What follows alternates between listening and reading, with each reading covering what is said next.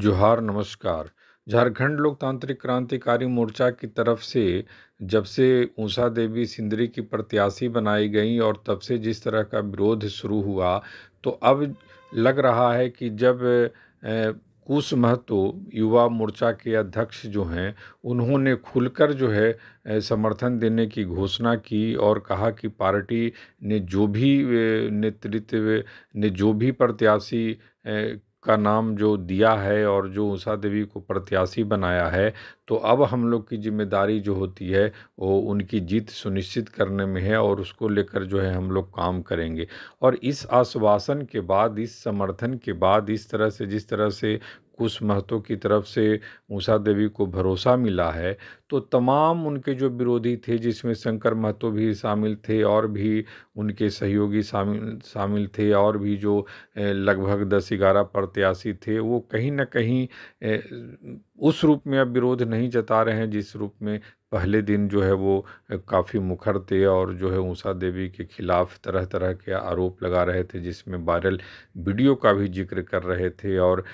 ऊषा देवी के माध्यम से ये कह रहे थे कि उन्होंने भी इस तरह की धमकी जरा महतो को दी थी और उस तरह से उनको टिकट दिया गया। तो कुश महतो का उनके समर्थन में आना ऊषा देवी के समर्थन में आना, यह उनके लिए बहुत एक बड़ा आत्मबल बना और एक विश्वास का कारण बना। और यही वजह है कि ऊषा देवी भी अब विरोधियों को एक तरह से करारा जवाब दे रही हैं और उसी लहजे में जवाब दे रही हैं, उसी भाषा में जवाब दे रही हैं और यह भी कह रही हैं कि सिर्फ़ और सिर्फ़ कुछ विरोधी उनके जो हैं अपने संघर्ष को तो देख रहे हैं, अपने अपने जो है वो पार्टी और संगठन में अपने योगदान को तो देख रहे हैं। लेकिन उषा देवी ने क्या किया? उषा देवी एक महिला होकर के जिस तरह से एक जो स्त्रियों को लेकर जो एक साहस का काम किया कि कम से कम राजनीति में आई और स्त्रियों के लिए, महिलाओं के लिए एक आवाज़ बनकर जितना संभव हो अब तक बनी हैं और सरोकार पैदा कर रही हैं महिलाओं के बीच में तो उनकी इस उपलब्धि को लोग नहीं देखना चाहते। यानी उनके जीवन में भी जिस तरह से एक महिलाओं के साथ समाज में भेदभाव होता है और इन सबको सहते हुए वो उषा देवी जिस रूप में जो सक्रिय राजनीति में सक्रिय हुई और जो है वो महिलाओं के अधिकार के लिए या भी तमाम तरह के जो समाज के जो जो भी अंग है महिलाएँ, उनके लिए जो है वो आगे आई और उनकी बेहतरी के लिए सोच रही हैं, समाज सेवा के बारे में सोच रही हैं, राजनीति में आकर के। तो उसको लोग उस रूप में नहीं देख रहे हैं और सिर्फ़ जो प्रत्याशी यहाँ से हुए थे, जो कुछ भी हुए थे, जितने भी हुए थे तो उन सभी ने जिस तरह से उनको प्रत्याशी होने पर, उनके बनाए जाने पर जिस तरह से विरोध जताया तो कहीं ना कहीं इसे लगता है कि उनका प्रत्याशी बनना लोगों को अच्छा नहीं लगा। और यह भी कह रही हैं कि आखिर प्रत्याशी कोई एक ही बनता। तो इस रूप में ऊषा देवी पहले से जो है वो मुखर हुई हैं और यह तब हुआ जब कुछ महतो जो है उनके समर्थन में आए और कुछ महतो ने जब कहा कि अगर जयराम महतो ने उनके नाम की उषा देवी के नाम की घोषणा की है, पार्टी की तरफ़ से वो प्रत्याशी बनाई गई हैं तो निश्चित तौर पर अब हम सभी का दायित्व है और ज़िम्मेदारी बनती है कि उषा देवी को लेकर हम लोग प्रचार करें, काम करें और उनकी जीत के लिए जो है वो जितनी मेहनत करनी हो करनी पड़े, हम लोग करने के लिए तैयार हैं। तो यह आश्वासन, छोटा आश्वासन नहीं है जैसा कि सर्वविदित है कि वो कुश महतो के समर्थक भी चाहते थे कि टिकट जो है सिंदरी से कुश महतो को ही मिले, क्योंकि कुश महतो का भी योगदान जिस रूप में संगठन से लेकर पार्टी तक में है तो यह भी किसी से छिपा हुआ नहीं है खासकर युवाओं और छात्रों के बीच में। जिस रूप में भी कुश महतो सक्रिय हैं और जाने जाते हैं तो उन्होंने भी जो भी दिशा निर्देश पार्टी नेतृत्व में दिया, उन्होंने काम किया और उसके आधार पर ही उनकी अपनी एक पहचान बनी। तो उन्होंने अपने जो है वो उनको सीट नहीं मिली, उनको प्रत्याशी नहीं मिला। तो उन्होंने अपने इच्छा और अभिलाषा और महत्वाकांक्षा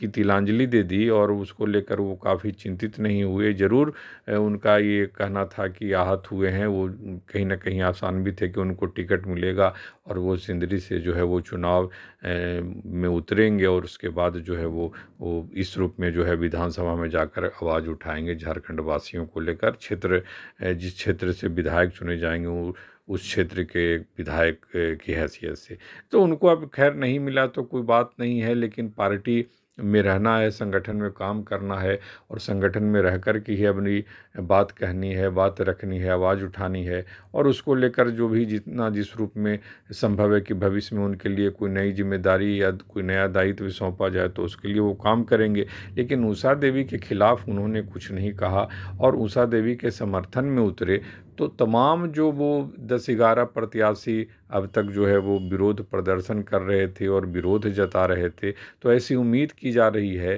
कि कुछ महत्व के आगे आने से, कुछ महत्व के मैंने इस पहल से अब जो जितने भी विरोधी हैं, देर सवेर सभी जो है वो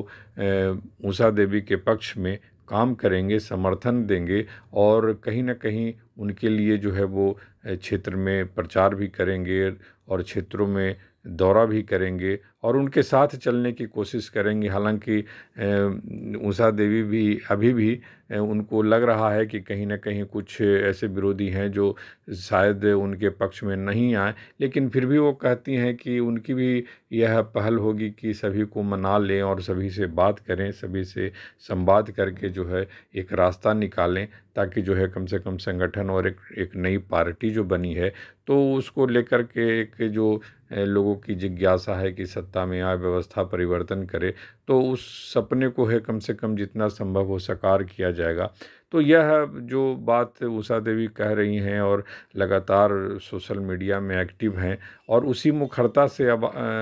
सवालों का जवाब दे रही हैं और विरोधियों को भी जवाब दे रही हैं तो कहीं ना कहीं ये कुछ महत्व के समर्थन से ही उनको यह बल मिला है और पार्टी नेतृत्व और केंद्रीय अध्यक्ष जयराम महतो का उनको तो समर्थन है ही और नेतृत्व के तमाम नेताओं का भी उनको समर्थन है और जिस रूप में वो प्रत्याशी बनाए जाने के बाद क्षेत्र में घूम रही हैं, पदयात्रा कर रही हैं तो उसमें अच्छे खासे लोग जो हैं उनके साथ चल रहे हैं। और यह दिखाता है कि ऊषा देवी कहीं ना कहीं प्रत्याशी के तौर पर जो नेतृत्व ने फैसला किया है, लोग उससे संतुष्ट हैं, पसंद कर रहे हैं और कहीं ना कहीं एक अच्छे प्रत्याशी के रूप में उषा देवी अभी तक जो है वो जब से उनके नाम की घोषणा हुई है वो लोगों से मिलजुल रही हैं तो यह संकेत है कि नेतृत्व का फैसला उस रूप में नहीं है जिस रूप में विरोधी इसको बता रहे हैं और जो विरोधी अपने लिए जो सोच रहे हैं कि उन, उन्हें अगर प्रत्याशी बनाया जाता तो बेहतर होता। तो अगर ऐसी बात कोई होती तो कुछ लोगों को छोड़कर जो प्रत्याशी होने के लिए या फिर आवेदन फॉर्म भरे थे या फिर आवेदन पत्र भर करके जो अपनी इच्छा ज़ाहिर की थी वो प्रत्याशी बनना चाहते हैं तो उन सबसे और उन सब के बीच में से एक प्रत्याशी का चयन और उस रूप में उषा देवी का हुआ तो इसको लेकर जिस तरह से विरोध जताया जा रहा है तो अब लग रहा है कि जिस तरह से लोग उनका समर्थन कर रहे हैं उषा देवी का, स्थानीय लोग सिंदरी विधानसभा क्षेत्र के लोग तो इससे कहीं ना कहीं प्रतीत होता है कि नेतृत्व ने जो फैसला लिया सही लिया और कुछ महत्व का समर्थन मिल जाना यह ऊषा देवी के लिए कहीं ना कहीं एक सहयोगात्मक रुख है और उनके लिए बेहतर संकेत है कि विरोधी उससे निश्चित तौर पर भविष्य में शांत होंगे। जोहार, नमस्कार।